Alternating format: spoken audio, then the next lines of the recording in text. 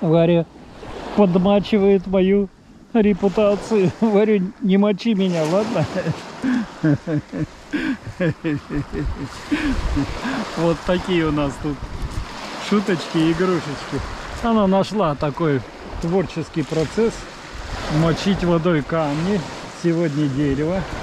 И они меняются. Цвет меняют, меняют какой-то, значит, облик. И ей это интересно. Вчера играла почти полтора часа так. Сегодня вот она мочит дерево, и я ей мешаю, как я понимаю, да? Мешаю я тебе, Варень? Ага. Угу, сказала. Вот. Я никак с вами не начну тему долголетия. Поскольку я обещал ее освещать, то я ею, конечно, занимаюсь, и я читаю. И еще раз повторяю, что территория Абхазии или вот этого местности а, еще при Советском Союзе была одна из четырех территорий, считающихся территориями долгожителей. Ну, все, кто на Кавказе живет, скажут, нет, у нас тоже долгожители, у нас тоже... А вот и не все. То есть у вас есть долгожители, но такого вот массового, чтобы средний возраст всего населения был выше, чем у других, в общем-то, не во всех республиках встречается. Другое дело, что все республики по-разному в советское время переживали это время. Поскольку есть республики, которые много депортировали народа, значит, ну, в общем, не, не совсем у них было правильное переж... проживание, поэтому мы скажем так, что э, не всем дали, может быть так. А, а здесь вот это было, что здесь э, долголетие. И я читал местных, э, как скажем, писателям про это долголетие. И у них интересные мнения. Потому что долголетие это местных жителей уже давно известно.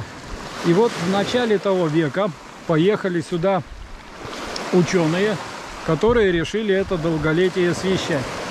И читаю у местного писателя рассказ об этом, я, конечно, очень удивился. У него а, там а, возникла такая тема, что те, кто поначале приезжал и фотографировал, вот э, стариков, кому за сто лет, он им всем навредил. Э, прямо приводятся имена, э, приводятся фамилии этих фотографов. Я уж не буду все это э, выдавать и не буду никого компрометировать. Но идея-то там такая, что вот у э, местных жителей раньше считалось, что фотографироваться долголетнему жителю нельзя, потому что фотоаппарат у него отнимает тень, крадет тень. И когда тень у него украдена, она уходит, он в скорости умирает. Вот прямо приводятся примеры. Вот этого сфотографировали, вот тот-то, и вот он умер. Он прямо так и считал, у меня украли тень. Вот, последние, конечно, э, сведения у него указаны, это э, в 50-х годах прошлого столетия, что вот этот тоже считал, что у него украли тень, и поэтому он тоже прекратил, ну, жизнь у него ушла, но ушла, конечно, в, в таком возрасте 120 там или еще что-то. В общем-то, особенно на тель-то не пожалуешься. Но была еще одна версия долголетия – значит, а, тоже называется имя а, старика, который много прожил. И причина его жизни, что он боялся умереть. Вот он так боялся, что он куда-то попадет не туда, и что там все совсем не так, как здесь. Здесь хорошо, а там будет все, все не так, что он боялся умереть, поэтому долго прожил. Долго прожил. Вот такие причины я пока услышал. Вот, я, ну, то есть причины прекращения долголетия и причину долголетия.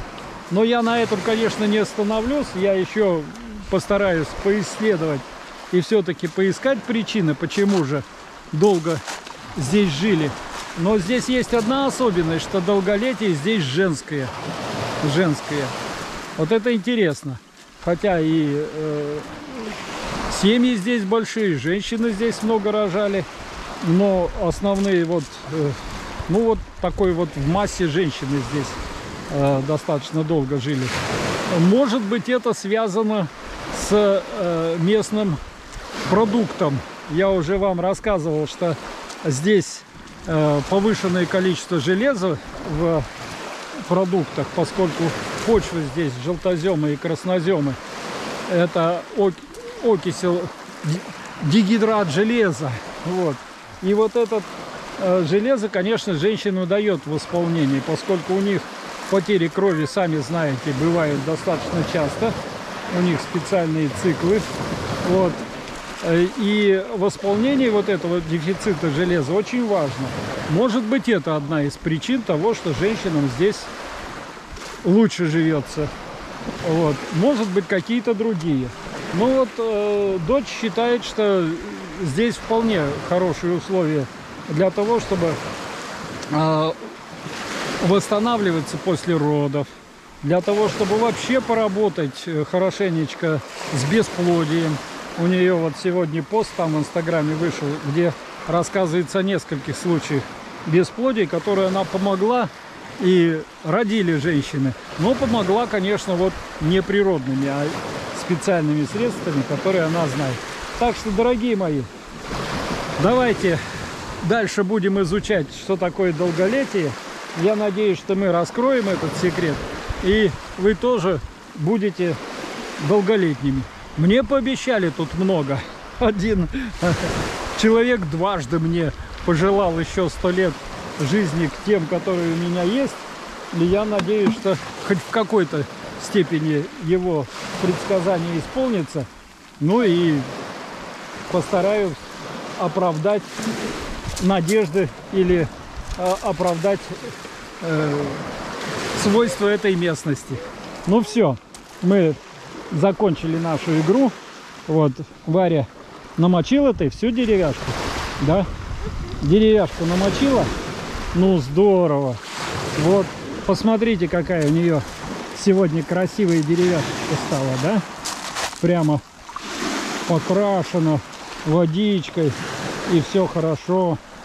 Вот Варя У нее водяное творчество вы видели на, на стене, а сегодня мы с вами видим это все на деревяшке. Так что всем здоровья, радости, ну и всем не хворать, всем долголетия. Аминь.